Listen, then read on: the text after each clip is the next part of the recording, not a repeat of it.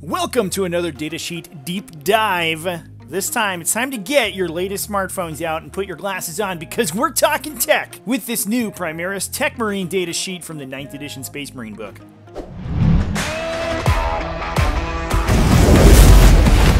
What's up, folks? Welcome back to Tactical Tortoise. My name, as always, is Trevy, and today we are doing another datasheet deep dive into probably one of the coolest datasheets co- to come out of the new 9th edition book. This is the Primaris Techmarine. And when I saw this model spoiled, I was worried that it would just be a normal Techmarine, but he'd have plus one attack and plus one wounds, like most of the other Primaris versions of other character types. But this Primaris Tech Marine is, oh boy, is he, uh, he's his own beast and I am so excited to talk about him. Today we're going to be talking about a general overview of the Primaris Tech Marine, some of the best places in a Space Marine list to use this unit, some of the specific vehicles and synergies that you can use along with him, and we're going to talk about an interesting archetype that you can build around this particular type of unit before giving it our final verdict. Before we get into the video, just a real quick reminder that if you like the content and if you like these datasheet deep dives, go ahead and hit the subscribe button beneath the video. Also, let me know that this is the type of content that you like to watch by dropping a like down there and or a comment. That really helps tell me whether or not these videos are popular and people like them and encourages me to do more of them. Anyway, let's get down to it and talk about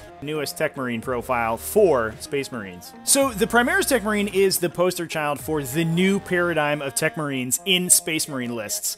And that is with, I'm, I'm just going to come out, we're going to talk about it right now, this Awaken the Machine Spirits ability that this Techmarine has. Now, previously, Techmarines were pretty good because generally they had a, a pretty good swath of weapons. They did, you know, reasonable damage in shooting, and they could repair your vehicles, which, which was very nice. They were also a relatively cheap HQ option, so you could squeeze them into lists pretty easily. But now, they have an extra ability on top of what they were bringing before, and it sort of harkens back to the Master of the Forge upgrade that you could take on them in 8th edition, which allowed them to take the Forge Master Warlord trait, which gave them a 6-inch aura of plus 1 to hit for all vehicles. Now, obviously, that was really broken.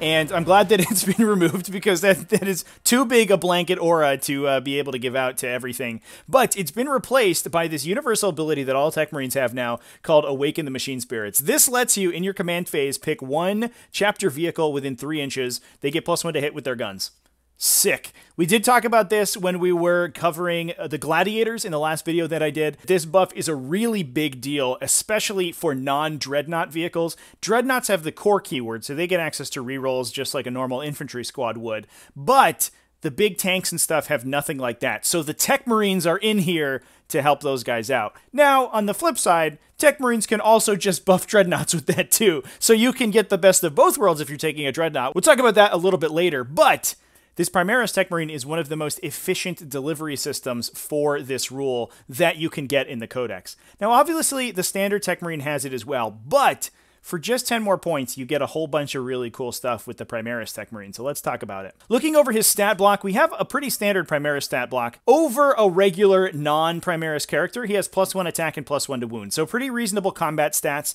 That is also aided by the fact that Techmarines generally have some pretty solid melee weapons. Uh, this guy's comes packing automatically with an Omnissian Power Axe, which is a flat 2 damage, strength 6 weapon at minus 2 AP. That's nice to have. That guy's going to chunk some people for some damage whenever you get into melee with them. He also has all the other uh, Tech Marine goodies that we uh, we normally associate with Tech Marine melee stats. He has a servo arm, which is the equivalent profile of a Thunderhammer now. Oh, however, it does not give you minus one to hit.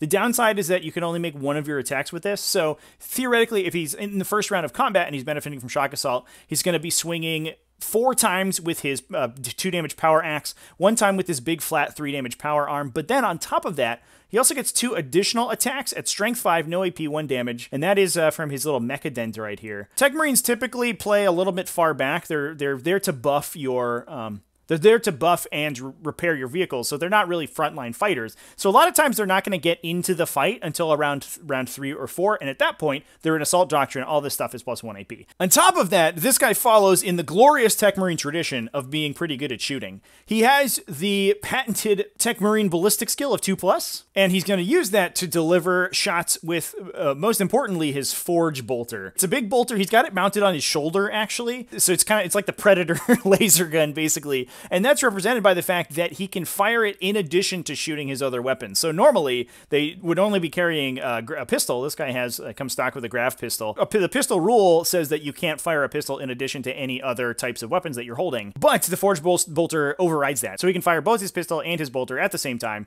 get a bunch of flat two damage uh, shots going through, and that is because this Forge Bolter comes in at basically a heavy bolter profile. Strength 5, minus 1, 2 flat damage, 3 shots, in a, it's an assault weapon. Uh, it is only range 24, but typically that's going to be fine. What a cool profile. It, the, the, the fact that it's assault also means that it benefits from Tactical Doctrine instead of Devastator Doctrine. Devastator Doctrine obviously only works for round 1, and typically you're not going to have very good shots with your weapons in that, but you get potentially two turns of Tactical Doctrine if you want to stay in it for an extra round. So this thing can be AP2 for two uh, for two full turns, which is awesome. So once you get up to it, up close to this guy, he can be shooting four strength five, two flat damage, AP two and three shots at you. Which is, I mean, it's not going to blow up a tank, but man, is it is it going to chunk a couple of wounds off that thing? It's going to kill some Primaris Marines. It is actually a legitimately threatening salvo of shots. In addition, he does have that Artificer armor on, so he's coming in with a two plus armor save, which is nice.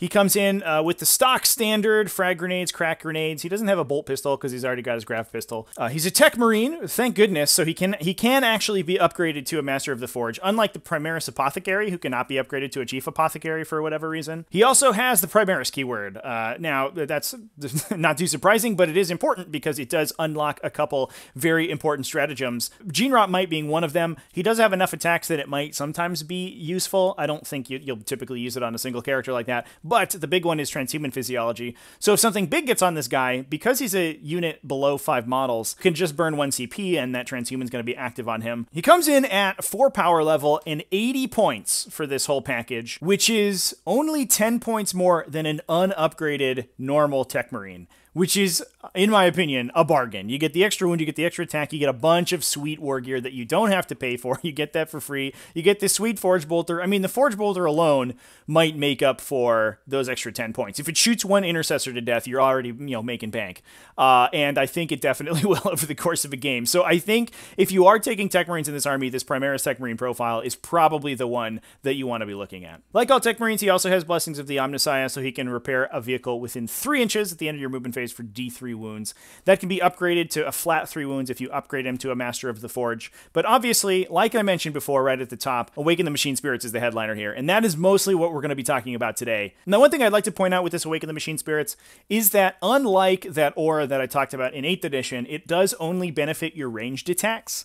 So, if you are running Dreadnoughts with him, which we're definitely going to be talking about, uh, unfortunately, it will not benefit their big punchy fists. They're just going to have to roll that at their regular weapon skill. Now, as we move on to this video and we start talking about some interesting synergies to use with this Tech Marine, one thing that I'm going to point out right now is that this guy he is a he's a buffer. He's not a buffy. So instead of talking about abilities that we can use on him to make him better we're going to talk about some of the best units in the codex for him to give that plus one to hit and that use that repair on now, as good as this ability is, it is tacked to a relatively expensive character. 80 points, it's not, you know, an immense amount of points, but it isn't exactly chump change. So when you're looking at a vehicle to take alongside him to buff up with that, I would be looking at the bigger stuff with more shots. Basically, anything that's like a gladiator size or bigger is what I would be prioritizing with this guy. Anything smaller than that, you're not really getting very good use out of that ability. It also works only on a single model, so he can't like take an entire unit of land speeders and buff, buff all of them up. So generally you're going to want it to be the big chunky tanks or dreadnoughts.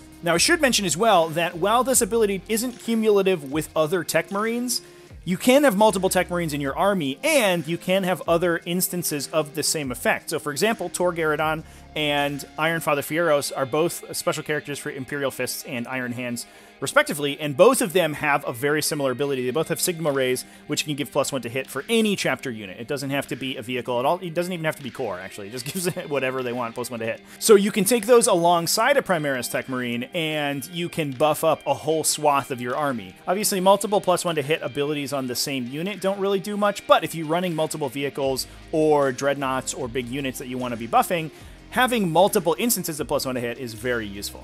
Now, before we move forward as well, I do want to talk about the Forge Master upgrade. The first thing it does is turn the Tech Marine's Blessing of the Omnissiah to a flat three wounds repaired instead of a D3, which is very nice to have. It's not a, like a huge deal, but it is a good ability for the upgrade. But the big reason that you're going to be taking it is to unlock the Warlord trait, Warden of the Ancients, which gives any dreadnoughts within six inches plus one strength and plus one attack. Now, I'm going to say it right now, I don't think that plus one strength is almost ever relevant. I guess you could put a you could put Might of Heroes in a Redemptor, and that would make it strength 16, so we're wounding knights on twos. All right, we did it, everyone. we figured it out.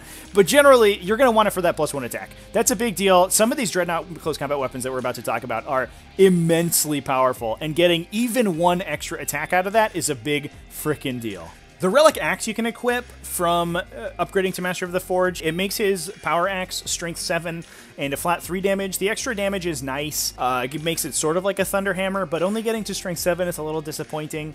So uh, generally you don't really want to waste a Relic slot on that. I would typically leave that off of this guy. They only have a 3 plus weapon scale, so they're not the best thing to put a Relic uh, melee weapon on. So now moving on, let's talk about some of the units that we can buff with this Awaken the Machine Spirit aura. I want to start by talking about the non-dreadnoughts, because we'll talk about dreadnoughts in a sec. And I'm just going to preface this by saying that I'm not going to delve into Forge World stuff right now. Down that road lies madness. And the status of Forge World is sort of in question currently because there's a new Forge World book with all new data sheets coming out later this year. And I talked about it in a recent video, but like a lot of Forge World battlefield roles and stuff is messed up right now, so we don't ex exactly know where their power level sits.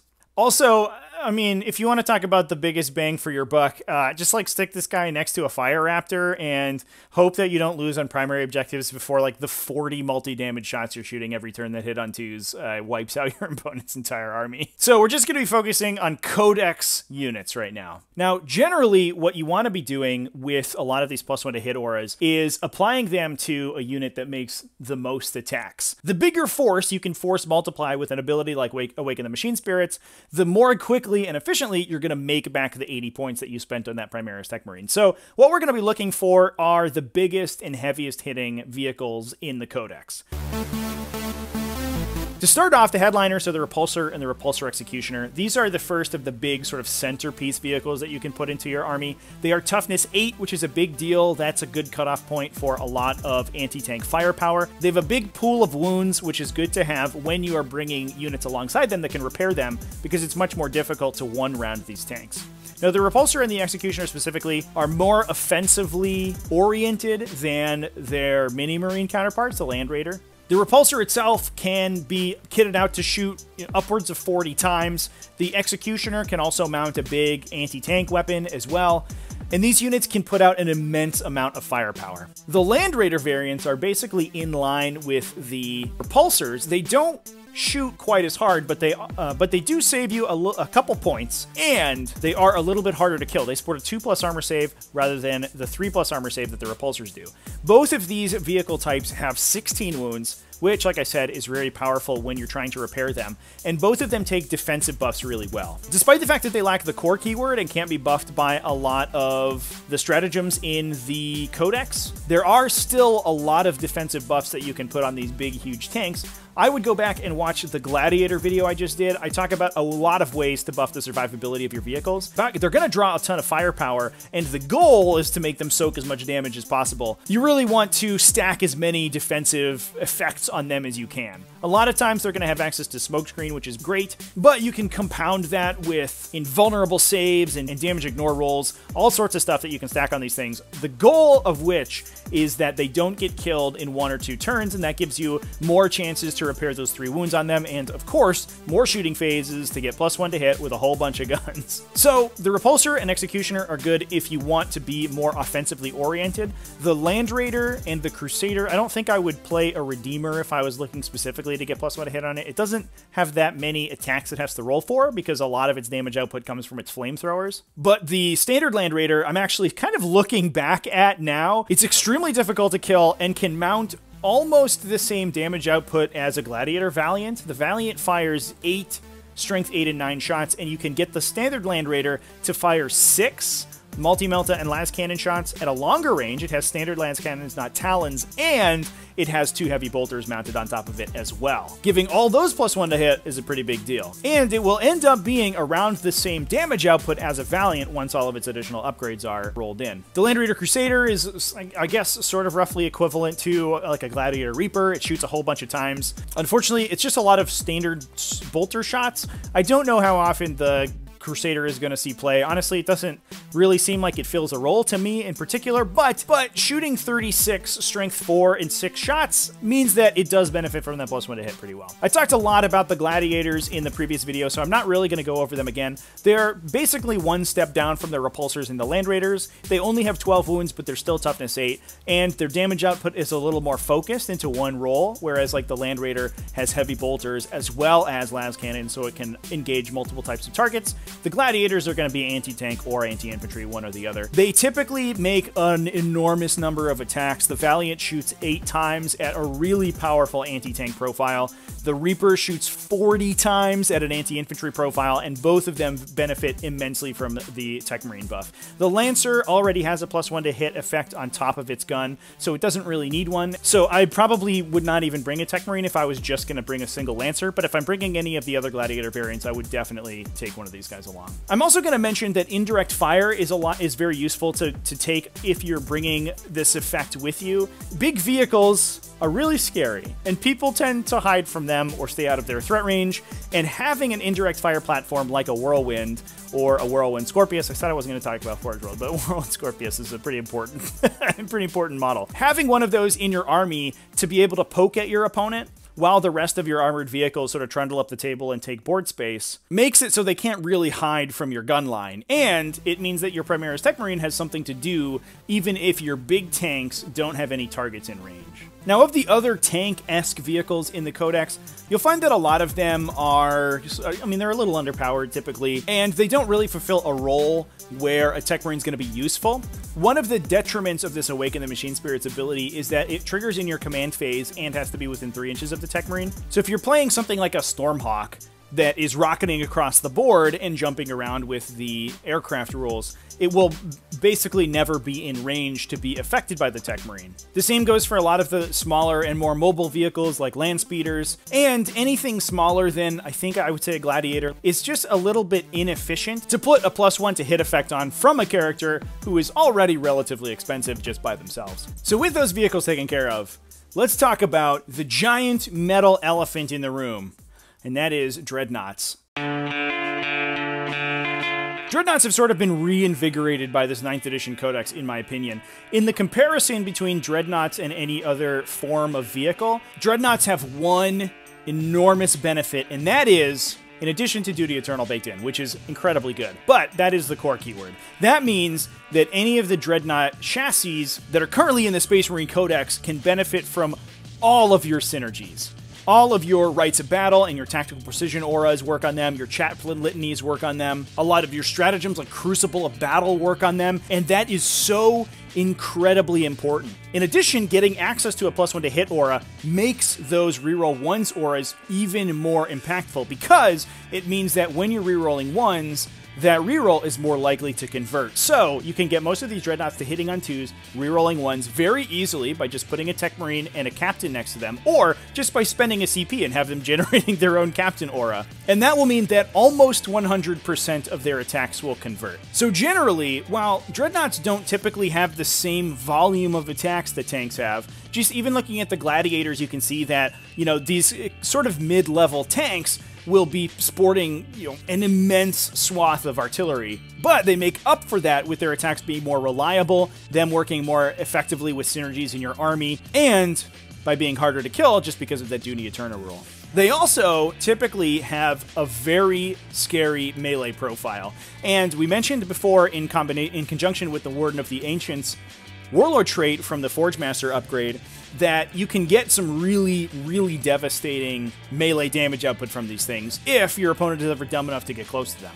Now, out of the dreadnoughts in the book, I think the one that's being the most pushed right now is the Redemptor dreadnought. This one was an absolute joke in 8th edition, but now it has been reimagined. It has that Duty Eternal built in all the time, so it's always minus one to be damaged. That's really important because it has 13 wounds, which is a lot of wounds. It's only toughness 7, so a lot of times your uh, enemy's attacks are going to convert uh, against it a little bit more often. But with that Duty Eternal, it should, on the whole, take less damage from anti-tank shooting. That also means that wounds that you repair on these Dreadnoughts are going to be more valuable, and the Dreadnoughts are more often going to survive on a couple wounds with that minus one damage to, to be around to be repaired. Now, one of the reasons that Redemptor Dreadnoughts are great, specifically for this Tech Marine buff, is that they have a whole bunch of shots. They can all equip an Onslaught Gatling Cannon on their Power Fist, which is like, I mean, that's a pretty good uh, throwaway sidearm to have. They can also take two Storm Bolters apiece on top of their big giant Plasma Cannon. The Plasma Cannon has excellent damage, and because of that core keyword, if you have a captain nearby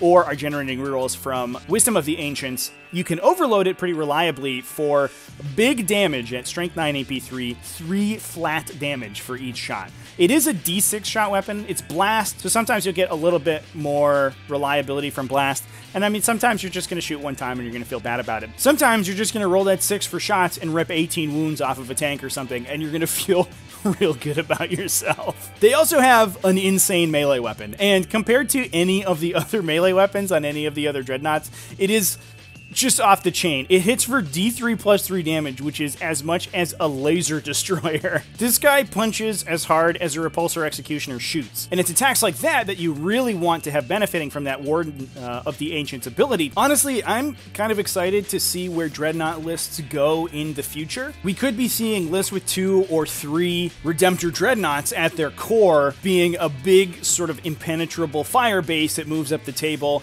gets buffed by these Primaris Tech Marines, maybe by maybe by Iron Father Feirros. They can shrug off a ton of damage with flat 3 repairs. They can deal immense damage in melee once you get into them. And you can buff them to make them stupid hard to kill. I'm not going to go through all of the buffs that you can put on them. It is an even greater swath that you can put onto tanks. Things like the Iron Hand's ability to get a 6 plus damage ignore, the Salamander's Obsidian Aquila giving them a 6 plus damage ignore as well, Might of Heroes to get them to toughness 8, which is a big breaking point, multiple ways to get them an invulnerable save. I mean, the list goes on and on. An important part of the combination, in my opinion, is the Rites of War Warlord trait coming out of the Space Marine Codex. That will give all of them the objective secured rule, so enemy objective secured units running into your castle of dreadnoughts isn't aren't automatically going to take that objective away. At that point, they have to outnumber you.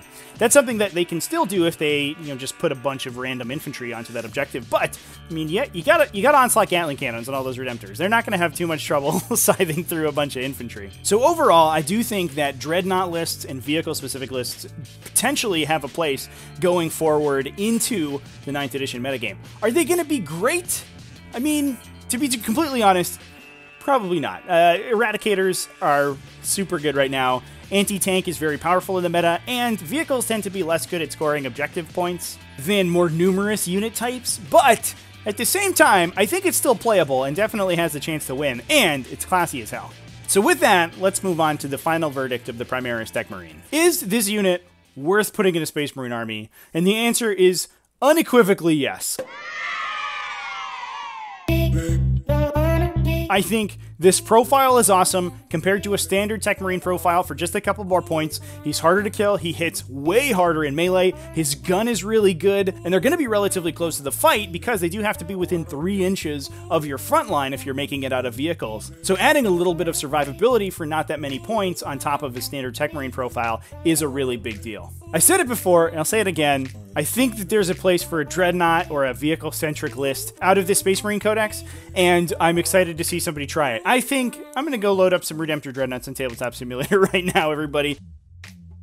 So that is going to be it for this datasheet deep dive, everybody. Thanks for watching. Let me know down in the comments what you think about this Primaris Tech Marine. Are you going to get one? I mean, I think it seems pretty cool, and big stompy robot boys are my jam. So I'm hoping that there's a Dreadnought list in there somewhere. I'll probably give one a go online. We'll see if it translates into the real game, but oh boy, am I uh, excited to potentially put a bunch of big Redemptors on the table and march them right up, shoot some plasma people, blow them up, and then punch them with those like laser destroyer fists. That's going to be so cool. As always, big shout out to my patrons. You can see them up on the screen here. They help support me and the channel, and I definitely wouldn't be at this stage without their help, so I really appreciate each and every one of them. You can join them at patreon.com slash tactical tortoise. In addition, we do have a new membership available on YouTube. You can hit that join button down below the video if you want to join that. Both of them give you some pretty sweet benefits. If you join on YouTube, you get access to some member only emojis and badges for your account, which is sweet. If you join on Patreon, you'll get early access to videos. You'll get some unique content. I usually put my bloopers up there in the videos and some other commentary, so you get a little bit more of that. I do exclusive videos every once in a while, and you get early access to T5S2 tournament pods and other benefits. We do some usually uh, Patreon specific events. I think we're going to be doing one pretty soon, so stay tuned for that. So anyway, big thanks again to all my patrons, and big thanks to you for watching to the end of the video. I really appreciate it. Have a good one. Keep it classy, folks. Remember to have happy wargaming.